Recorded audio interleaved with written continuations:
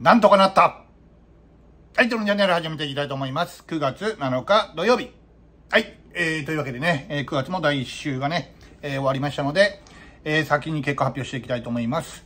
前年2023年対比116.5%、23年対比116.5%でした。えー、2022年対比122.7%、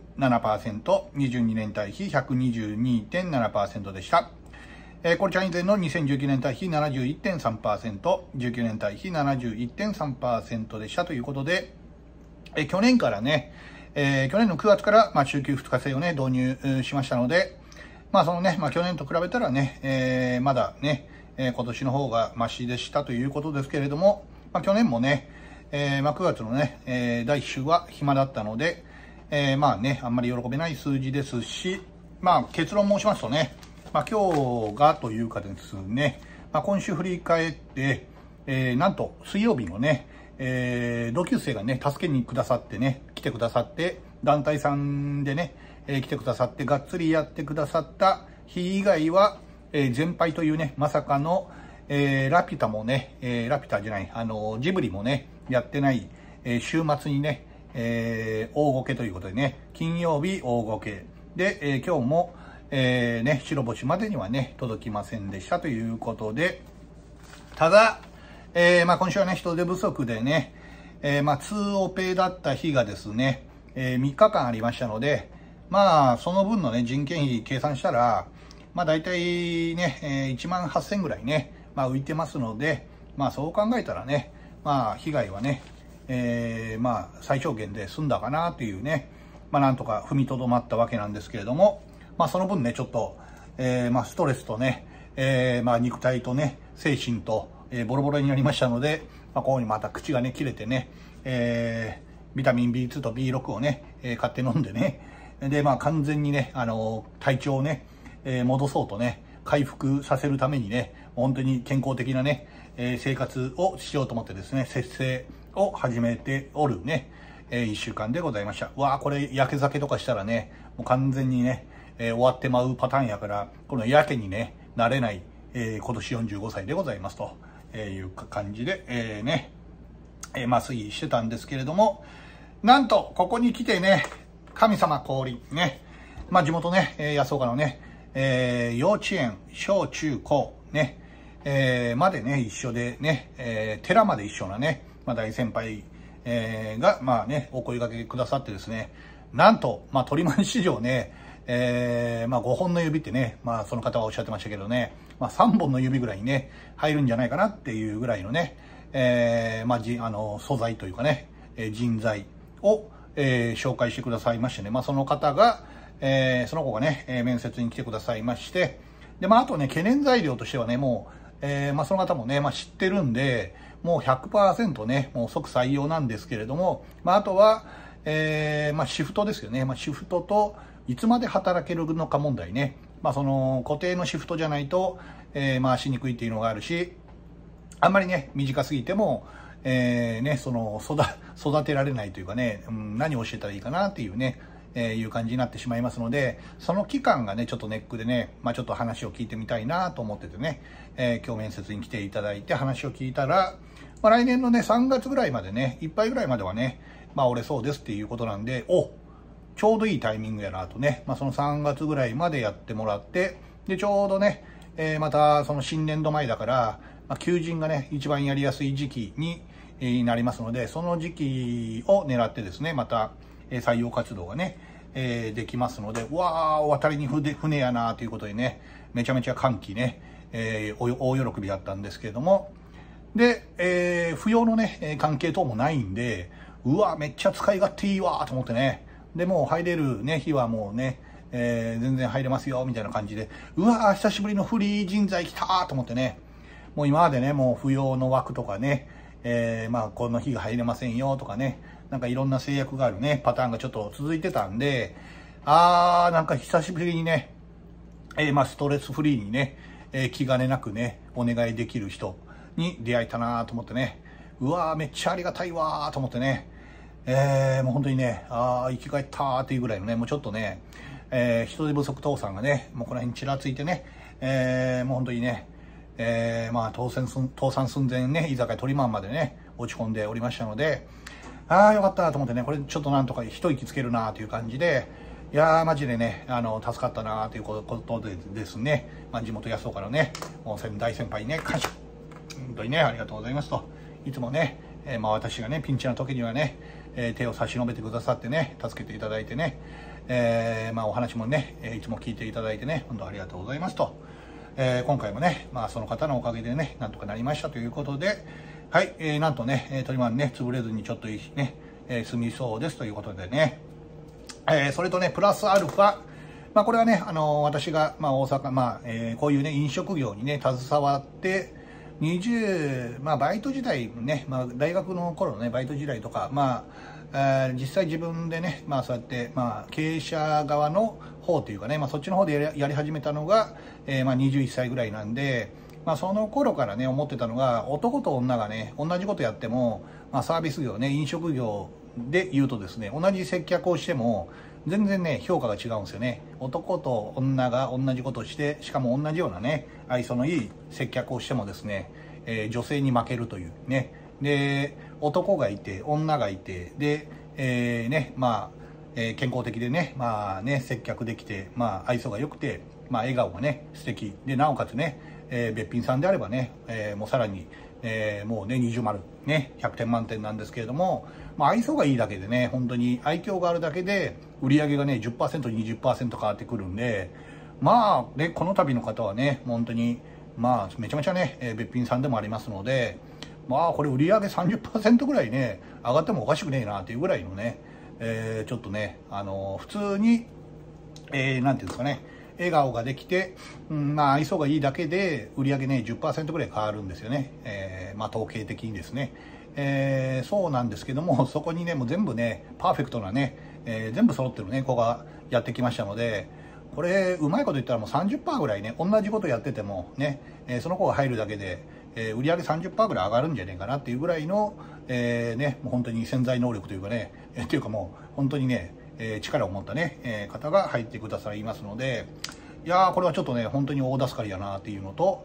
えー、ね、まあ、シフトもね、えー、なんとかなりそうだなっていうのでね、いやー、本当に助かったと思いながらね、逆にね、えー、うちでなんで働いてくれるんだろうっていうぐらいのね、まあ、本当になんか、ちょっと逆にね、えー、恐れ多いというかね、えー、ちょっとなんかそんな感じぐらいね、えー、感じてしまうというかね、大丈夫、本当に大丈夫なのってね、何回も確認してね、えね、お母さんにもちゃんとね、あの言ってるとかね、まあそういうね、一応確認も全部取って、えー、で、なおかつね、大丈夫ですよっていうね、ことでね、えー、ね、来てくだくださることになりましたのでね、えー、もう全然私よりね、えー、もうね、しっかりしてますので、もうなんやったらね、もう経営権をね、譲って、すべてね、えー、もうその子にやってもらった方がね、えー、うちの店はね、あの、流行るんではないかなっていうね、えー、ぐらいのね、感じで、もうね、あの、私は店に出ずにね、えー、よそでバイトしてね、もうその方に全部任せた方がね、店は良くなるんじゃねえかなと。ね、なんやったらもう通帳もハンコも渡してね、あとお願いしますよって、ね、言えるぐらいのね、もう本当に信頼度抜群というかね、何でもできそうなね、えー、方なんでね、いやー、これはちょっとね、トリマン飛躍のね、えー、下半期になりそうだなと思いながらね、えー、ちょっとね、ワクワクもありながら、ちょっとね、まあ、未だにね、もう採用が決まったんですけれども、えー、なんかね、恐れ多いというかね、えんかなと思いながらね、えー、うちでいいんかなと思いながらね、まあ、それぐらい、まあ、素晴らしいね、子が入ってくれくださいましたよというね、えー、感じなんでね。まあ、あとはね、まあ、えー、うちでね、まあ、実際働いてもらってね、まあ、その、ね、よ、良ければいいんですけどね、まあ合わなければね、えー、もうこんなところで働けませんってね、言われたらね、すいませんって謝るしかないんですけどね、まあそうならないようにね、足を引っ張らないようにね、私も頑張っていかないといけないなと思っておりますよと、えいう感じでございます。はい。えー、というわけでね、ちょっとね、あの、スーパールーキーが、えー、ね、えー、獲得ね、えー、採用することができましたので、ね、こんなもう落ち目からのね、この間のね、あの、ブラックマンデー以来のね、株価の大暴落からのね、V 字回復でね、えー、もうね、えー、全戻しどころかね、えー、プラス3割ぐらいね、え、戻すぐらいのね、勢いで、え、こう V 字回復で戻っちゃったよっていうぐらいのね、え、なんか奇跡がね、起こりました。はい。まあ、あとね、え、半年ちょいぐらいね、え、働いていただけますのでね、まあ、その間にね、え、ちょっとうちもね、いろいろね、変わってね、いけたらいいなと思いますと。はい。で、めちゃめちゃね、愛想がいいし、まあお話もできる子なんでね、まあ本当にね、えー、すごいことになると思います。ね。もう予告しておきます。ね。えー、トリマン、めちゃめちゃ評判が良くなると思います。はい。えー、というわけでね、まあ本当にね、えスーパールーキー採用できましたので、ガラッと変わりますね。もう本当に、えー、めちゃめちゃね、売り上げの方もね、影響があるんではないかなというね、えー、感じでございますと。はい。で、まあね、今週ちょっとまあね、えー、9月のね、第1週は毎年ね、あんまりよろしくないので、まあ先ほどもね、ちょっと触れた通り、えー、あまりね、えー、よく、よくなかったんですけども、まあ、幸福か不幸かね、まあ、人手不足デイが、えー、続いておりましたので、まあ、その分ね、えー、まあ、人件費が、まあ、浮いたということになりますのでね、まあ、それで、まあ、ちょっとね、売り上げ悪かった分は補填できたかなとね、まあ、最小限の、まあ、被害にね、とどめて、えー、でね、まあ、採用、採用というかね、まあ、求人も、えー、これでとりあえずね、えー、1回、もう2回、まあ、トータル2回打ったんですけどね、えー、とりあえずね、あえっ、ー、と、2万8000円、まあ、約ね、えー、6万円ぐらいかな。6万円ぐらいで済んだんで、ああ、よかった。ね、最小限で済んだと思ってね。えー、もっとね、かかるとかなっていうね、えー、感じもあったんで、あ一応ね、えー、セーフやということでね、助かりましたと。はい。で、えー、ね、もう連日ね、で、今度はね、日曜日にね、また、えー、面接がね、ありますので、まあ、そちらでね、えー、良い子であればね、また決まりということでね、えー、で、火曜日もね、もう一件入ってますので、えー、怒涛のね、3連チャン、えー、面接がね、ありますのでね、ああ、なんかね、ちょっと打って変わってね、流れが変わってきたなということなんでね、めちゃめちゃ、えー、人材不足でね、人材難からのね、人材余りぐらいに、ね、なりそうな感じなんでね、あとはどうやってシフトを組むかっていう感じなんでね、えー、まあどうやってやろうかなっていうね、まあちょっとなんか贅沢なね、悩みが湧いてきましたよっていうぐらいのね、えー、レベルになりましたのでね、ああ、ちょっとね、腹くくってね、本当にもうちょっとね、えー、どうしようかなと。で、もう最悪ね、撤退までね、この辺に頭にね、よぎっておりましたしね、えー、まあ、資金面でもね、どれぐらいね、持つかなっていうのと、まあね、毎回申します、申してます通りね、このね、えー、物件自体もね、ボロいんでね、えー、それと、まあ、維持費と、で、今の売り上げと、あと人手不足なんで、まあ、このままね、えー、で、10月いっぱいで、まあ、大学生のね、男の子が、まあ、扶養関係、扶養のね、問題で、まあ、ちょっとね、103万使い切って、えー、強制卒業になってしまうね、えー、ね、アンラッキーなね、イベントもあったので、まあ、最悪、えー、ね、もうその、お小遣い制でね、えー、もう経費に落ちないね、えー、ね、あの、お小遣い制で、引っ張ればね、11月、12月までね、ギリギリなんとかできるけど、まあそれはね、あのー、経費にならないんでね、やりたくないなーっていうふうにね、思ってたんで、えー、まあ実際のね、リミットは10月のね、えー、真ん中ぐらいかなっていう感じだったんで、ああ、ギリギリ間に合ったということでね、助かったということでね、まあ、あとは、まあちょっとね、えー、まあ頭のね、いい子なんでね、まあすぐ覚えてくれるでしょうから、えー、まあそういうね、まあ、メニューとかね、えー、は覚えていただいてね、えー、まあ調理の方もね、まあやってもらいますので、まあその辺もね、全部、まあすぐね、えー、できると思いますので、えー、まあ即戦力ルーキーがやってきましたよということなんでね、えー、ということでね、いや、本当ありがたいなという感じですね。で、まあちょっとね、まあ繰り上げですけども、まあ今日ね、えー、日曜日ね、今撮影しますけども、で、えー、さっきね、面接した子もね、えー、ちょっとね、どうなんかなと思ってたんですけどね、意外や意外ね、もうね、めちゃめちゃいい子だったんでね、うわー、ラッキーと思ってね、で、ちょっとね、あとシフトの、えー、組めるか組めないかっていうのでね、えー、もう一人面接が控えておりますけれどもね、おー、これはね、助かったという感じでね、本当に逆転満塁ホームホームなんじゃないですけどね、本当に、えー、なんとかなったなという感じでね、えー、助かりました。ね。まあ、全国の、えー、トリマンね、チャンネル、リスナーの皆様、えー、なんとかね、えー、店をね、本業のトリマンを継続しながら、なんとこの YouTube チャンネルがね、えー、続けられそうだということがね、えー、確定しましたので、えー、ちょっとね、あのー、こうなってましたのでね、えー、ね、トリマンもいよいよね、あ年貢の納め時かとね、えー、10月20日のね、えー、オフ会は本当にあるんかとね、心配してくださってたね、リスナーさんもね、えー、いらっしゃると思いますけれどもね、なんとかなりました。はい。はい、ネタばらしはね、もうちょっと先やりますけども、えー、なんとかなりましたということでね、えー、まさかのね、下半期、ね、えー、補強にね、え大成功しまして、よりパワーアップしてね、えニュートリマンがね、なんやったらもう何も変わってないけど、中の人だけ変わったんですけどね、えー、リニューアルオープンでね、してもいいんじゃねえかと、鼻は出してもいいんじゃねえかというぐらいのね、えー、ちょっとね、えー、パワーアップぶりなんでね、これはなんとかなりそうやなというね、まあ、手応えとともにね、ちょっとシフトどうしようかなっていうのはね、また、えー、いい意味のね、えー、ちょっとね、あと、まあ、ここはね、えー、ケチらず、えー、もう金をね、えー、もう人件費ぶち込んで、えー、ね、今までちょっとね、お客様にね、バタバタして迷惑かけて、ああ、もうトリマンはね、まあ言ってもね、松ちょっとバタバタするしなね、ちょっとなんか落ち着かんなっていうようなね、ちょっと印象を与えてしまってたね、面もありますので、まあここはね、あのー、お客様に還元じゃないけれどもね、まあその、金額の面じゃなくてね、居心地の良さの、えクオリティを上げてもらう面でもですね、まあちょっと多めに人を入れて、えー、金かけて、で、えー、ね、あ、鳥はすごいねっていうね、こんなね、えー、パワーアップしたのっていうぐらいのね、レベルアップぶりなんでね、えー、ちょっとね、まあ、そういうちょっとね、あのー、変え方でもいいかなと。最悪ね、ちょっともう2オペでもね、あの、オペレーションをね、まあ、簡素化したりとか、連携を強化して、まあ、週末でもね、なんとかね、ギリギリ、今日も、まあね、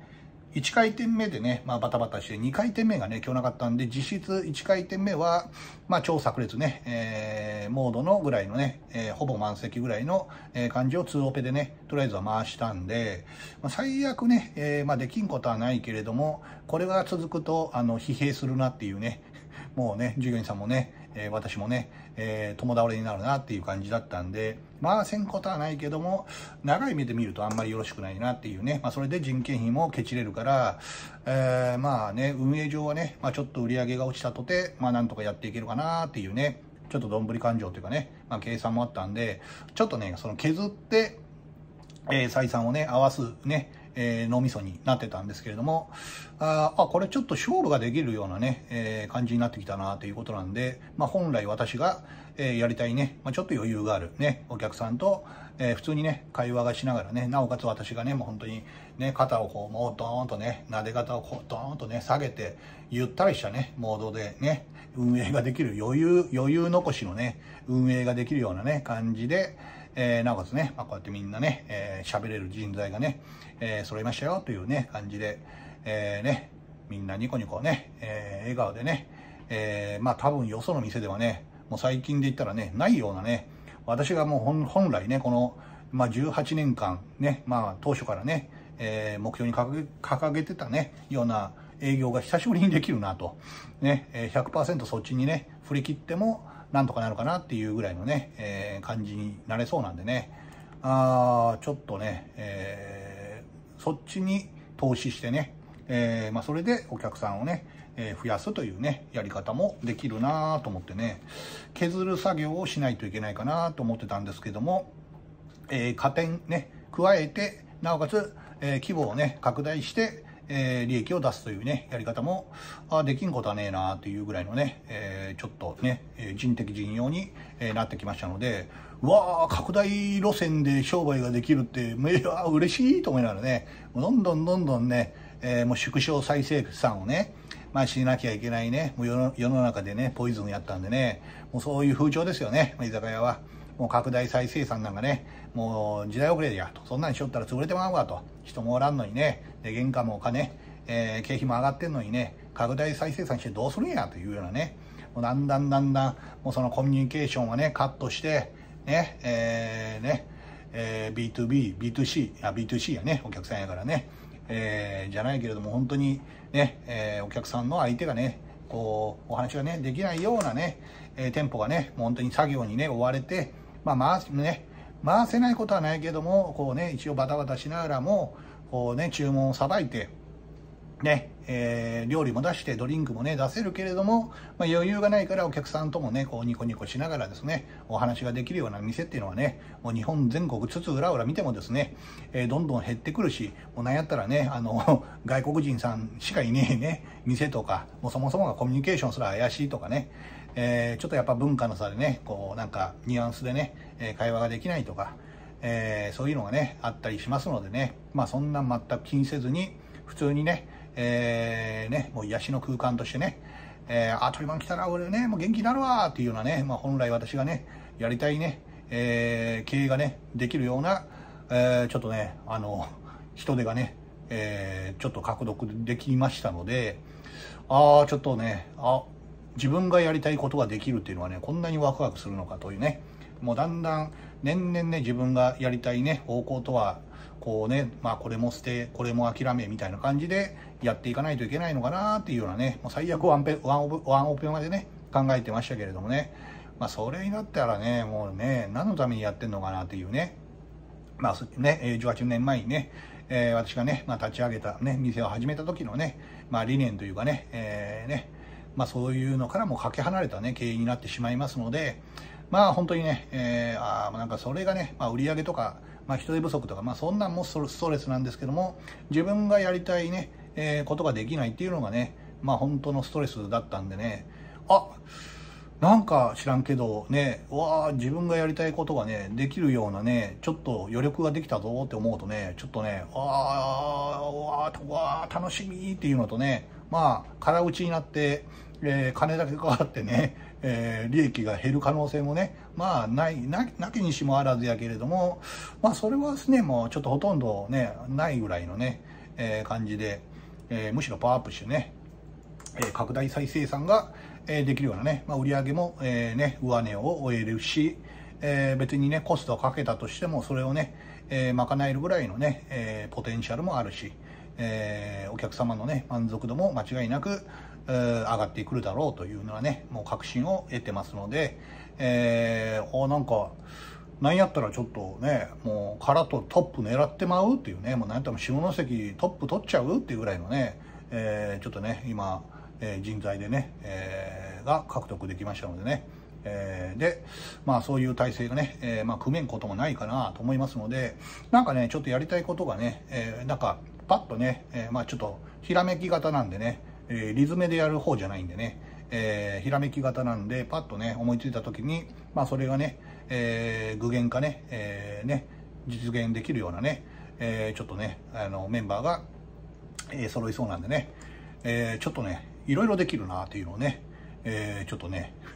まあちょっとね、自分自身がね、一番ちょっと楽しみに、えー、しながらもですね、じゃあ逆にね、あの、宝の持ち腐れでね、えー、全然使いこなせませんでしたよってね、まあそんなヘタレなね、経営者になり下がったらね、まあ本当にね、えー、最悪なんですけどもね、まあ、まあ、あのね、あの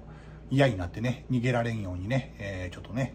え、ちゃんとね、え、私が足を引っ張らないようにね、頑張っていきたいなとね、え思うような、えまあ、子たちがね、一応採用できましたよということなんでね、え楽しみですという感じですね。はい。えー、というわけでね、まあ、ちょっと下半期からのね、えー、来年の、まあ、4月の手前ぐらいまでですね、えー、はちょっと安定経営がね、えー、ちょっとほぼ確約できたかなっていうぐらいの、えー、感じなんでね、うわー、久しぶりに、久しぶりになんかもう何も考えんでね、うわー、ストレスフリーフリーになれるわーと思ったらね、もう今ね、脳汁がね、ドビュッシーしてますね。やばい。もうこんなにね、えー、ストレスフリーにね、えー、何かが足りない。まあ人が足りないのが一番ね、まあ売り上げが足りないのも大変なんですけども、まあそれよりは店が回せないね、え、ストレスの方はね、上値がね、追えない、えー、ストレスね、まあお客さんは、まあね、いても、それをね、えー、こなしない、何やったらも断らないといけないね、えー、そっちのストレスの方が申し訳なさとかね、もう二度と来てくれないね、えー、ね、そういう、え、シチュエーションになってしまいますので、え、まあ、顧客満足度もだだ下がりになってしまいますので、まあ、それが一番ストレスやったんで、うわー、よかったと思ってね、もうそれがね、もう一番のね、えー、もう本当に、えー、処方箋というかね、もう口切れてね、ビタミン B2、B6 ね、飲んで、胃も痛いしね、もう抜け毛も多いしね、白髪、白髪も増えましたと。えー、いうような状態でございましたけれども、まあなんとかね、ちょっと、えー、頭もね、心もね、すっきりしてね、またちょっと健康なね、体を、体を取り戻してね、ちょっとね、あのもうね、焼け酒等もやりませんと、暴飲暴食もしませんよと、えー、いうことなんでね、ちょっと体も絞ってね、えー、体がね、動けるようなね、感じにして、えー、下半期ね、がっつり稼いでやるとね、まあ、経費もかけるよと、ね、人件費もね、上げたしね、えー、当然、えー、ね、まあ、ちょっと人もね、えー、またね、シフトがちゃんとね、えー、パーフェクトで、えー、組めるようなね、体制になるでしょうから、えー、まあ、今までみたいにね、あ、なんぼね、えー、ちょ、今日は2オペやったからなんぼね、えー、浮いちゃったみたいなね、まあ、結果論ですけど、浮いちゃったって言ってもね、そこは本来かけないといけないコストなんで、えー、結果的にね、まあ、売り上げが少ないから、えーね、人件費が浮いてね、助かったっていうね、もうこの消極的なね、えー、助かったがね、一番嫌なんでね、えー、じゃなくて、適正なね、えー、あの配配置をしてですね、えー、適正な、まあね、人材、まあえー、人件費をかけて、原価もかけて、ね、でしっかり上値をね、追って、でなおかつ、えー、利益が出すっていうのがね、まあ、一番まっとうなね、やり方だと思っておりますので、ね、少ないから、売り上げがね、ないから、あ人件費がね、えー、あ、ツオペでね、えー、人がおらんで助かったみたいなね、こんな、こんな不健康なね、助かったね、あ儲かったっていうのが一番大嫌いなんでね、まっとうに、えー、心ね、平穏な経営を、ね、経営ができて、なおかつね、全部ちゃんとね、数字合わせて、えー、なおかつね、お客さんに喜んでいただいて、えー、で、ちゃんとね、利益が残る。ね、えー、あのね、支払いね、えー、給料払って、ね、仕入れ払って、ね、家賃払って全部のね、支払いが終わって、でなおかつ、えー、ちゃんとね、えー、利益が出て、なおかつお客様が、えー、大喜びと、ね、ああ、鳥マンええね、えー、鳥マンええわ、と、ね、また来たいわ、ってね、思ってくださるのはね、落ち着くわ、とね、鳥マン楽しいってね、なってくださるのはね、一番私がね、えー、望むべきね、まあ、本来の、えー、トリマンのね、姿なんでね、ああ、ようやくね、まあそれがね、また、えー、できるようなね、体制になりそうなんでね、ああ、よかったということでね、あ久しぶりにね、えー、ストレスフリーになりそうですね。まあちょっとね、1、2ヶ月ぐらいはね、まあその、えー、新人さんたちのね、まあ、指導で、えー、またバタバタするかもしれませんけれども、ね、多分、うんまあ、経験者の方もいますのでね、えーまあ、すぐね、えー、やれると思いますしね、えー、まあ若いからね、えー、みんなね私はもうちょっともうね忘れる一方ですけども、えーね、みんな若いんでねもうすぐ覚えてね、えー、私よりねもう店長足引っ張らないでくださいっていうぐらいのね、えー、もうなんやったらもうちょっと犬小屋帰ってね寝とってくださいぐらいのね、えー、感じで店が回ると思いますので、えー、邪魔にならないようにね足を引っ張らないように、えー、ねちょっとちゃんとねあのもう一回体絞ってちゃんと働ける、えー、体がねあもうあっちが痛いこっちが痛いねお腹が痛いとかねいう感じじゃなくね、えー、ちょっと元のもねもっと健康的な、えー、体に戻してですね、えー、パーフェクトね、え店長に戻ってですね、え万全の状態でですねお客様ねもう本当にねお客様がね一番心配してましたからねあ大丈夫かトリマンと、えいうことでねで、バタバタバタバタしよったらね、ああ、もうね、もう大変やねって言いながらも、あ、落ち着かんねってってからね、まあ感じでね、まあ話もできんねっていう感じで思われてたでしょうからね、あそういうのがね、まあ払拭できてね、落ち着いてね、どね、コンとね、ドンと構えてね、えー、ちゃんと根を張ってね、えー、商売ができるようになりますのでね、いや一番お客様がね、安心、常連さんが安心してくれるんじゃないかなと思うとね、まあ、それが一番ね、えー、私がね、まあ本当に、ああ、よかったなってね、ほっとしますよね。もうなんかね、そのお客さんの前でね、バタバタバタバタね、もう悲壮感、ね、人はおらんしね、もう、で、また10月でおらいになるしっていうね、話をお客さんがね、えー、聞いてね、もう大丈夫かねってね、もうなくなるんじゃないの、トリマンっていうようなね、まあ風潮になってましたのでね、あちょっとね、お客さんに安心感を持ってですね、あ居心地の良いね、空間で楽しい空間、ね、もうアホな話、ゴシップね、えー、できるようなね、まあ、空間で、えー、ね、癒しの空間トリマンね、また落ち着いてね、えー、じっくりね、もう頼んだらね、もうすぐ出てくるよと、そんなまた、また、またんでもいいよと、いや、そのね、店行ったら本当に何も出てこんけど、トリマン来たらね、もう普通に出てきてね、まあ、じゅんぐり回ってね、ああ、居心地ええわ、とね、思ってもらえるようなね、体制がまた作れそうなんでね、えー、ちょっとね、本当に安心しました。えー、ね、感謝。地元安岡のね、先輩に感謝だし、えー、本当にね、えー、本当になんかつきもんが取れたんかなってぐらいね、ちょっと人生がね、また、えー、逆回転でね、好転モードに入ってるんでね、まあ、己のね、運の良さに感謝。ね、ちょっと今、宝くじ買ったらね、当たるんじゃないかなっていうぐらいのね、ちょっとなんか、えー、V 字回復、ね、運気がバーンと急上昇になってますので、えー、ちょっとね、まあ、いきなりストップ高になって、ストップ安からのね、ストップ高にバーンとね、えー、2連チャンストップ高ぐらいになってますのでね、えー、まあありがたいなと思いながらね、まあこの幸せはね、当たり前じゃねえぞと。これは当たり前じゃないからなと。本当にね、めちゃめちゃラッキーなだけやからなと。ね、えー、なんとかなったけどね、これは当たり前じゃないからなっていうのをね、まあ肝にね、命じながらね、えー、日々感謝。感謝、感謝でね。えー、これから下半期ね、えー、ちょっとね、復活の鳥マンでね、本当に V 字回復でね、なんとか、えー、年末ね、えー、に向けてね、年末商戦、えー、からね、ね年始のね、えー、営業もね、頑張っていきたいですと。多分予想はね、えー、また最低賃金10月が上がった前後ぐらいでね、人手不足でね、えー、回せない店がね、多くなると思いますので、なんやったらもう予約はね、取れないっていうかね、まあね、オファーがあっても予約ね、したいんですけど、その、あ、その手が鳴らないごめんなさいっていうパターンも、えー、多い店がね、増えると思いますので、これはね、ちょっと、えー、ね、本当に復活のトリマンでね、